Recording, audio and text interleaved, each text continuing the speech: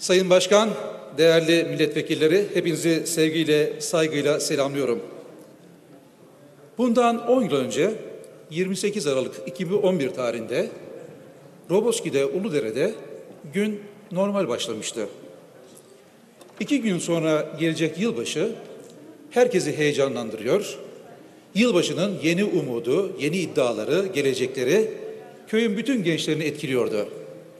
Yıllardan beri yaptıkları gibi tarım olmayan, ticareti olmayan köylerinde başkaca gelir kaynağı olmadığından o günde 38 genç sınırın öbür tarafına giderek mazot alıp gelecekler ve katır başına sadece 150 lira para kazanacaklardı. 38 genç 70 katırla beraber Irak tarafına gitmek için hazırlıklarını yaparken her biri evde anneleri, babaları, kardeşleriyle vedalaştılar. Anneler tedirgindi, endişeliydi. Gitmeyin oğullarım dediler. Ama onlar kararlıydı. Çünkü para kazanmak gerekiyordu. Şirvan Öncü 19 yaşındaydı. Annesi Mervan ona sarıldı. Şirvan bugün gitme dedi. Çünkü ertesi gün Şirvan'a kız isteyeceklerdi. 16 yaşındaki Celal çok iyi top oynardı. Arkadaşları ona Messi derlerdi. Messi, Celal. Bedran, Muhammed Erkan Şivan 13 yaşındaydılar ve anneleri onları o sıcak yataklarından çıkartıp göndermek istemedi ama para kazanmak zorundaydılar. Onlar da rüştlerini ispatlamak durumundaydı. 38 genç 70 katırla beraber Irak'ı geçtiler. Mazotlarını aldılar. Heyecanla dönüyorlardı. Yeni yılı hem parayla hem de yeni yılın güzellikleriyle kutlayacaklardı. Heyecanla onlar dönerken Türk Silahlı Kuvvetleri'ne de ayrı bir heyecan vardı. Türk Silahlı Kuvvetleri'ne son günlerde gelen istihbaratlar Fehman Hüseyin PKK'nın askeri kanat sorumlusunun Türkiye'ye girip eylem yapacağı yöndeydi. Askerlerin kafası karışıktı. Bir sürü istihbarat bilgileri geliyor ve gençler saatlerce insansız hava araçlarıyla izleniyordu. Genelkurmay'da bir karar almak gerekiyordu. Genelkurmay'da önce top atışına karar alındı. Ama saat 17 19.03'te şimdiki Genelkurmay Başkanı, o zamanın Genelkurmay İstihbarat Başkanı Yaşar Güler karargaha geldi. Top atışı değil, hava atışı kararını aldı Yaşar Güler. Bunu onaylatması gerekiyordu hiyerarşik yapıda. Genelkurmay ikinci başkanına gidip onaylatması gerekiyordu. Yaşar Güler dosyayı aldı. 19.20'de Genelkurmay ikinci başkanı ve şu andaki Milli Savunma Bakanı Hulusi Akar'ın yanına gittiler. Birlikte hava harekatının kararını aldılar. Ancak sınır ötesi harekat olduğu için Genelkurmay Başkanı'nın izni gerekiyordu. O zamanki Genelkurmay Başkanı Necdet Özel o anda Milli Güvenlik Kurulu'nda toplantı halindeydi. Hulusi Akar telefonla Necdet Özel'i aradı. Durumu bildirdi. Fehman Hüseyin'i yakalıyoruz dedi. O anda Milli Güvenlik Kurulu'nda olan Necdet Özel dosyayı aldı, konutuna getirdi ve hava harekatının onay kararını verdi. Gençler sınırdan içeri girerken ne olacaklarını bilemiyorlardı. Dört gruba bölünmüşlerdi. Hava harekatı karar alındıktan sonra ilk 21.39'da birinci bomba atıldı. Sonra 21.43'te ikinci bomba, sonra üçüncü bomba, sonra dördüncü bomba. Köyde olan aileler şaşırdılar, hepsi dışarı çıktılar. Bütün dağ bir alev topuna dönmüş, ışıklarla adeta aydınlatılıyordu. Ama gökten bir şeyler de düşüyordu. Aileler o gökten düşenlerin ne olduğunu anlamaya çalışıyordu. Ama o an bilemezlerdi. Gökten düşen parçaların Şiva'nın bacağı, Cemal'in kafası, diğerlerinin uzuvları olduğunu o anda bilemezdi. Gökten yağmur gibi çocukların, gençlerin uzuvları yağıyordu. Ama o anda herkes bir yanlışlık olduğunu anladı. Grubun içinde Fehman Hüseyin'in olmadığı çok kısa süre içerisinde anlaşıldı. Sonra ortalık karıştı. Bir sorumlu arandı. Sorumlu bulunurken ya da aranırken gençlere, ailelere bu olay karanlık dehlizlerde kalmayacak sözü verildi.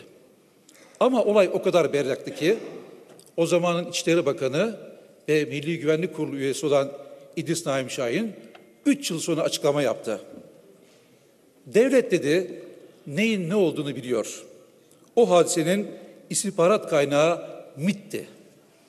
Başında yalanlanmıştı ama doğrusu MIT vermişti. Bilgi Fehman Hüseyin'in o kaçakçı grubuyla kamufle olarak geçiş yapacağı ve saldırıda bulunacağı yönündeydi. Bu büyük bir balık, pas geçilecek bir istihbarat değil. Bu bilgi bana da ilgili herkese de geldi diyerek vicdanının sesi olmaya çalıştı. Sayın Başkan, değerli milletvekilleri, evet olay karanlık değildi, son derece berraktı. Devletin bütün üst kademesinin kader birliği içerisinde olduğu ve karar süreçlerinin birlikte alındığı bir olaydır Roboski. Herkesin haberi vardı. Peki o üst düzey MİT yetkilisi kimdi?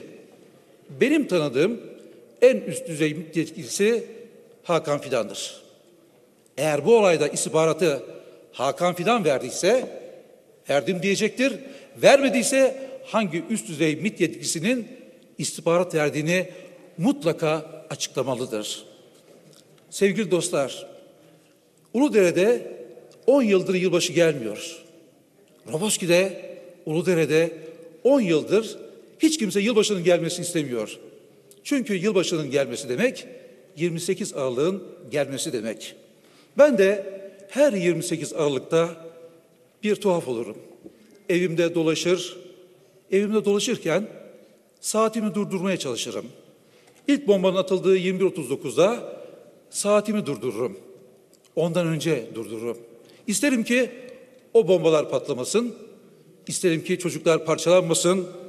İsterim ki Mehmet Ali Tosun, Özcan Uysal, Cemal Öncü, Vedat Öncü, Selim Öncü, Nadir Alma, Selahattin Öncü, Celal Öncü, Bilal Öncü, Şivan Öncü, Nevzat Öncü, Hüsnü Öncü, Şerafettin Öncü, Salih Ürek, Yüksel Ürek, onlar dağdan annelerine koşarak gelsin isterim.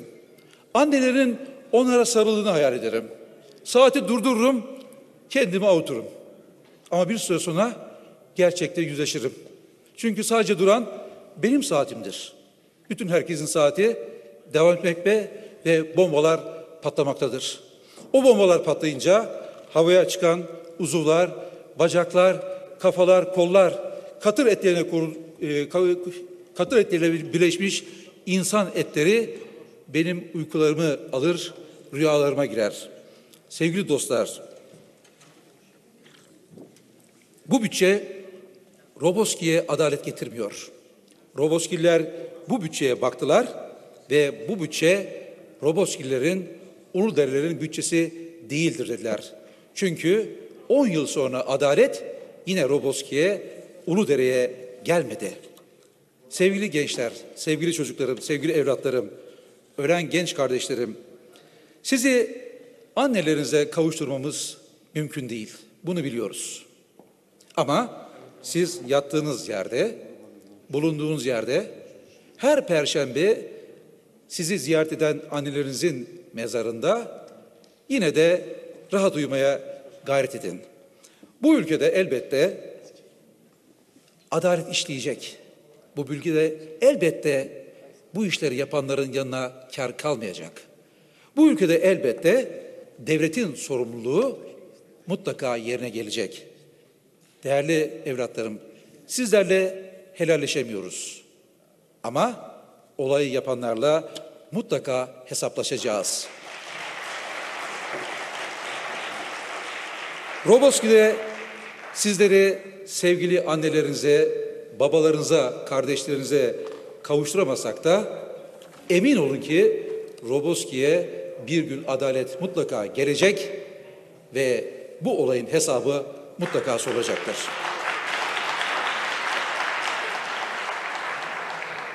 Hepinizi saygılarımı selamlarım.